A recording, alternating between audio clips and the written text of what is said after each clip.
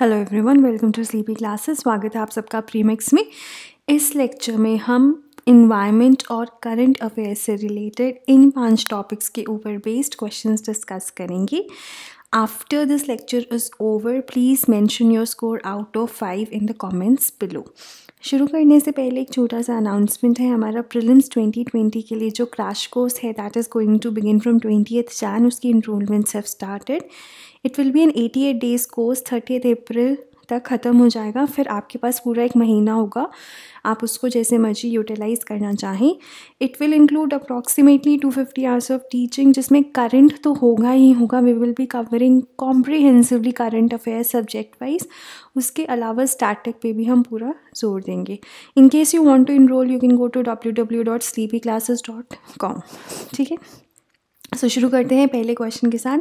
Which is regarding blue flag certification you must have heard about it बहुत ज़्यादा रहता है न्यूज़ में ये सो so, पहला स्टेटमेंट है it is a certification awarded by the foundation for environmental education It started in France in 1985. Spain tops the list with 566 blue flag beaches. Environment Ministry in India recently relaxed coastal regulation zone rules to enable beaches to receive blue flag certification तो ये चार हैं, आपको बताना है कौन से इनमें से सही हैं? One two three one three four two three four यहाँ चारों की चारों स्टेटमेंट्स ही सही हैं। आप पॉज करिए, एक बार फिर पढ़िए, कुछ नुआंसेस मिस तो नहीं करे उसको देखिए। और I am marking the correct answer the correct answer is all of the above so ये सर्टिफिकेशन प्रोवाइड करता है foundation for environment education based out of Denmark ठीक है?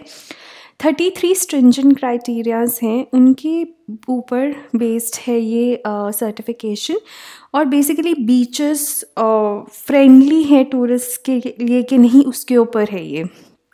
ठीक है so it is based on four major heads the criterias environmental education and information bathing water quality environment management and conservation safety and services in the beaches ठीक है और अगर हम इसको बात करें तो इसको आप एक इको टूरिज़्म मॉडल के नाम से आप जान सकते हो कि अगर किसी बीच को ब्लू फ्लैग सर्टिफिकेशन मिली हुई है तो उसका मतलब है कि जो टूरिस्ट हैं वो कुछ लेवल ऑफ़ सर्विसेज़ वहाँ पे एक्सपेक्ट कर सकते हैं, ठीक है?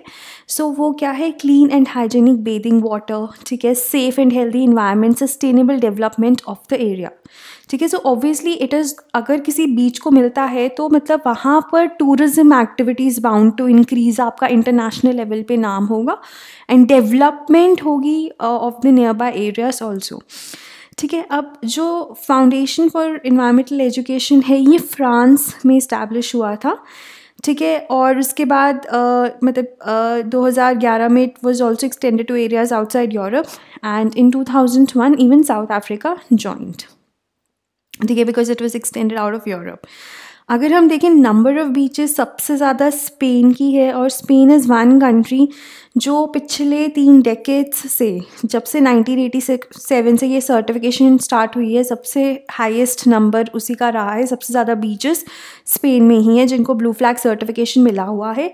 और अभी इंडिया को इंडिया में भी ये सर्टिफिकेशन मिले ज़्यादा से ज़्यादा बीचेस को तो जो इन्वायरमेंट मिनिस्ट्री है, उन्होंने रिलैक्स किए हैं कोस्टल रेगुलेशन जोन्स क्योंकि for blue flag certification you have to have certain minimum minimal infrastructure around the beaches जो कि अभी हमारे देश में अलाउड नहीं था।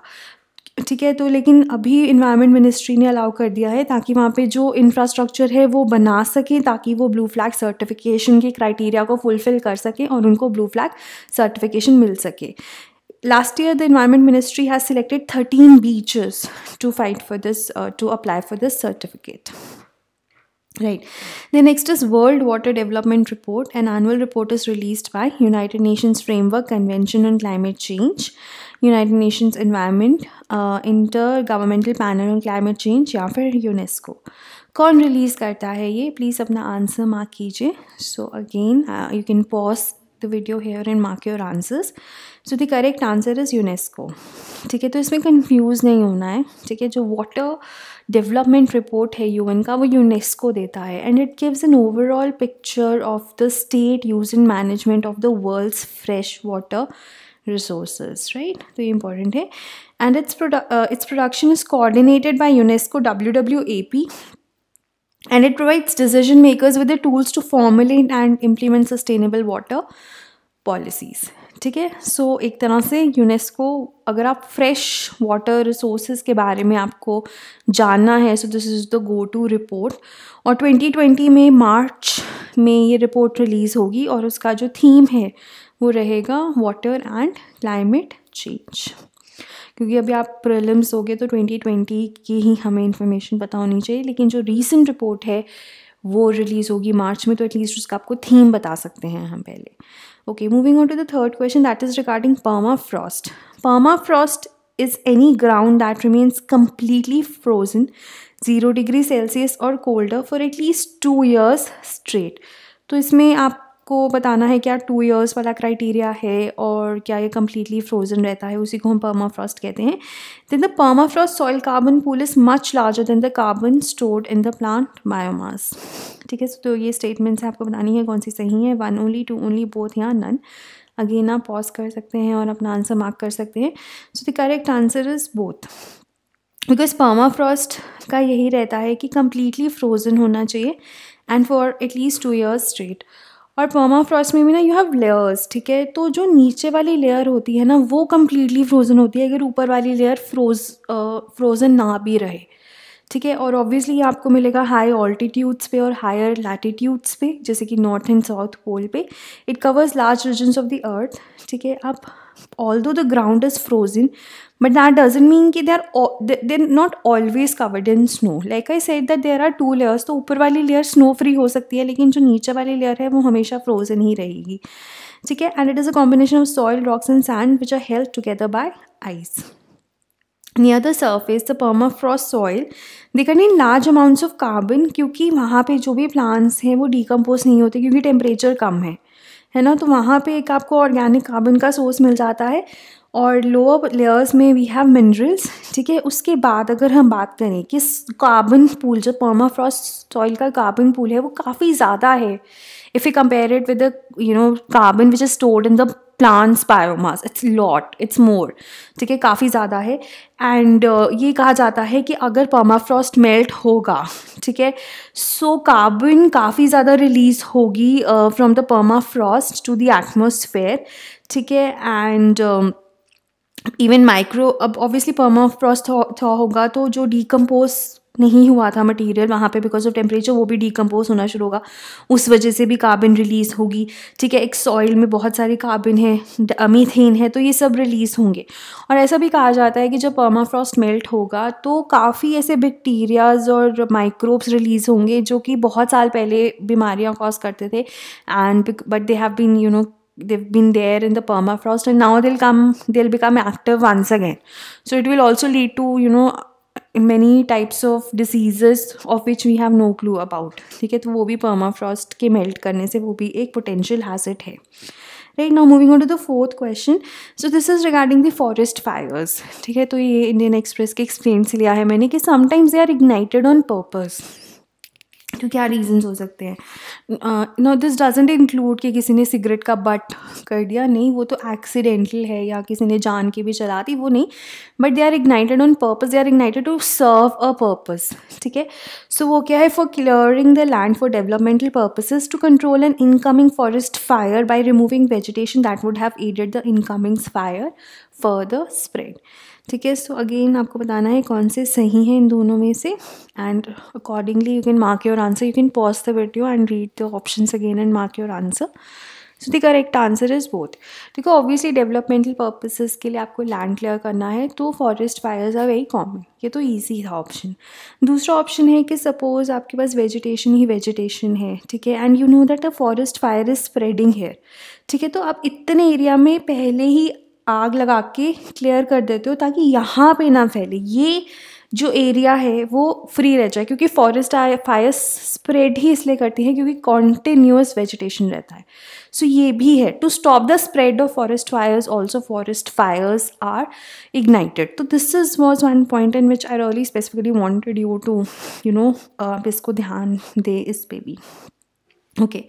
So forest fires are routinely occur across the world specially hot and dry season रहता है। अभी भी जैसे ऑस्ट्रेलिया में आपको पता है कि Indian Ocean dipole was positive उस वजह से वहाँ पे ऑस्ट्रेलियन uh, साइड पे हाई प्रेशर था।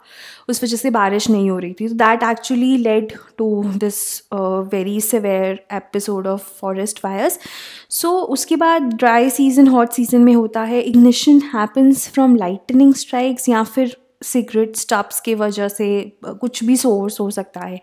विंड की डायरेक्शन और स्पीड हेल्प करती है फॉरेस्ट फायर को स्प्रेड करने में। रेन हेल्प करती है उसको ख़त्म होने में या फिर कंटिन्यूस वेजिटेशन नहीं है अगर तो आप रोक सकते हैं। And sometimes are ignited on purpose either to clear a land और to control an incoming forest fire right So moving on to the last question, the report in-depth review of India's energy policies has been released by NITI Aayog IEA ministry of renewable energy ministry of power आपको बताना है कौन सी इनमें से ने release करी है ये रिपोर्ट ठीक है? One and two only one two and three only one and four only one three and four only so अपना आंसर मार्क कीजिए। So the correct answer is one and two only ठीक है? सो नीति आयोग और जो हमारा international energy agency है, दोनों ने मिलकर पहली बार आईईए ने इंडिया के एनर्जी पॉलिसीज़ पे एक इनडेप्थ रिव्यू दिया है। So this is the first अब जो IEA है, वो निकालता रहता है कंट्रीज़ के एनर्जी पॉलिसीज़ पे रिव्यू बट पहली बार इंडिया का निकाला है so that is why it is important ठीक है? बिकॉज़ इट इज़ आप बाहर की एजेंसी इंटरनेशनल एजेंसी इन्वॉल्व है तो I think it is an important question and you must know अब ये जो रिपोर्ट है it has highlights the achievement of India's energies policies as well as provided with the recommendations ठीक है? कि कैसे आप एनर्जी में और इम्प्रूवमेंट्स ला सकते हो, कैसे आप रिन्यूबल्स को इंक्रीज़ कर सकते हो ऑल दैट राइट एंड अब आई ई ए कंडक्ट करता रहता है in depth review of energy policies for its member and association countries लेकिन इंडिया के पहली बार किया है and it has the work started in twenty seventeen right and also the report congratulates the Indian government on the achievements ठीक है for giving the access to electricity to most of its citizens ठीक है affordable efficient lighting clean cooking through historic schemes like Saubhagya Ujala and Ujjwala ठीक है and at the same time it also highlights the growth of renewables in India which now account for almost twenty three percent of the country's total installed capacity ठीक है सो ये कुछ points हैं इस report में। So so, obviously आपको maths में काफ़ी हेल्प करेगी ये वाली रिपोर्ट इसके कुछ पॉइंट्स बट प्री के लिए तो आपको ये पता होना चाहिए कि किसने निकाली है। That is the most important of it all right so this was regarding your prelims please to mention your school in the comments below thank you